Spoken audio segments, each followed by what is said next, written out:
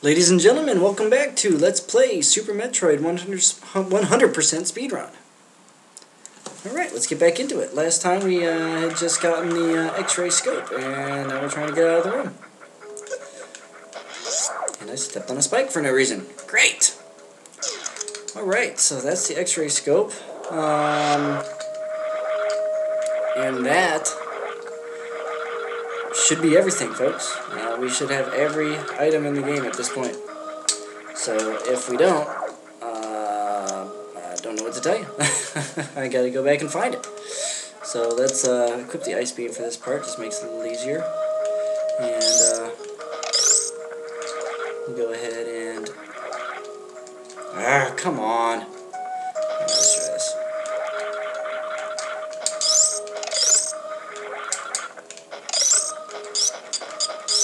Stop moving.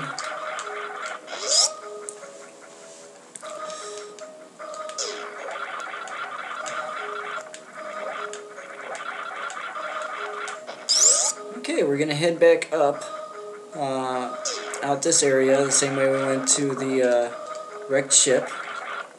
And there's actually an exit out of Maridia uh, around here too. It's out of that right hand side wall.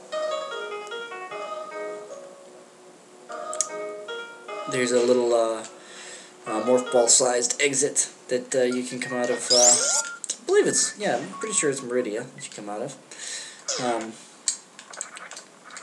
obviously not that useful if uh, I didn't use it at all during this run. So, um, just in case anybody wanted to know, I will be uh, saving the animals. I, I can't remember if I mentioned that in a previous run, but uh, it's true. I will be saving the animals.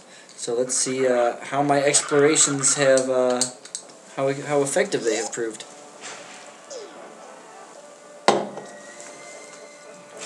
Yes. That's 100% folks. So uh, I'm going to go ahead and save state right here. Alright. Save state. Yes. Alright. So now let's head on to the final showdown. Alright. Still got some enemies over here. Not a big deal. Um, we're to head over to the statue section again.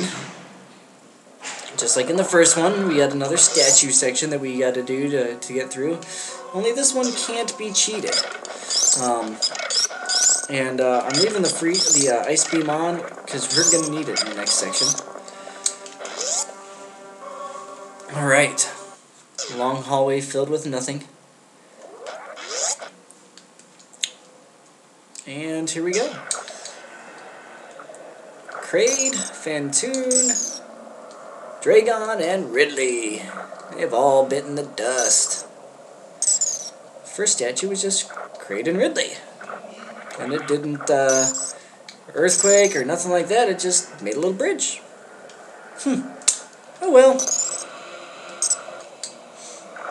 Well, in the, in the original Metroid, it made a bridge. In, uh, Metroid Zero Mission, the mouths opened up so you could go through them. So, I wonder which one it was. Can we say conflicting stories? Not a big deal.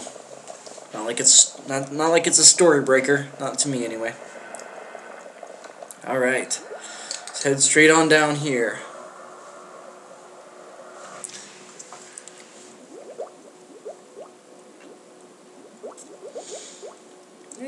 You could jump to the right and save if you needed to, but uh, we're not going to do that. Because we've got save states.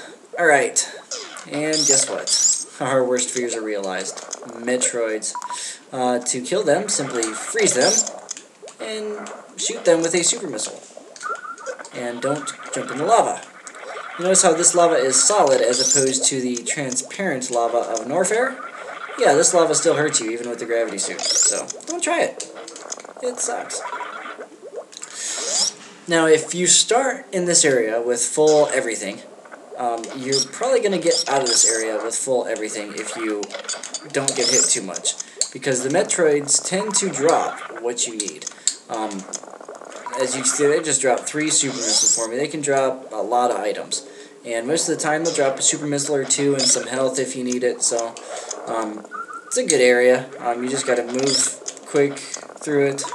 Um, just make sure you uh, know where they're at and fire ahead of you uh, so you don't get latched onto. If you do get latched onto, uh, you need to either shake them loose, shake them off of you, or uh, hit them with three uh, power bombs, and that will get them off of you as well.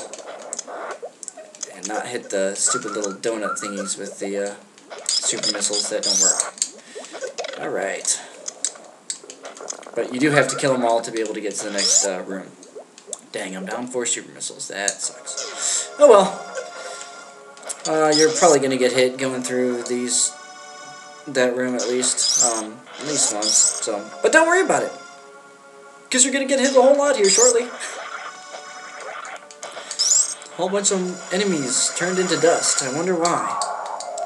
And that was a weird little squeal. I wonder what that was. Oh my gosh!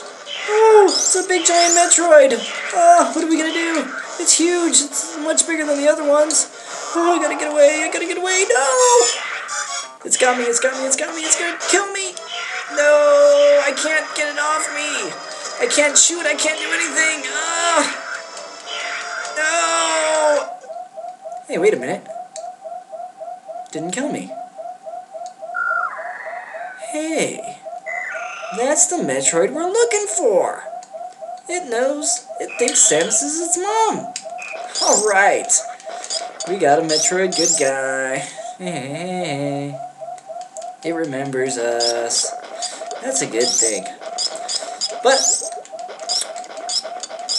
anywho, we are going to come over here and hopefully save uh, time with our uh, map trick here. Um, oh, it, we didn't need missiles, so I guess that doesn't matter. Um, just refill our energy up and uh, head on. Alright.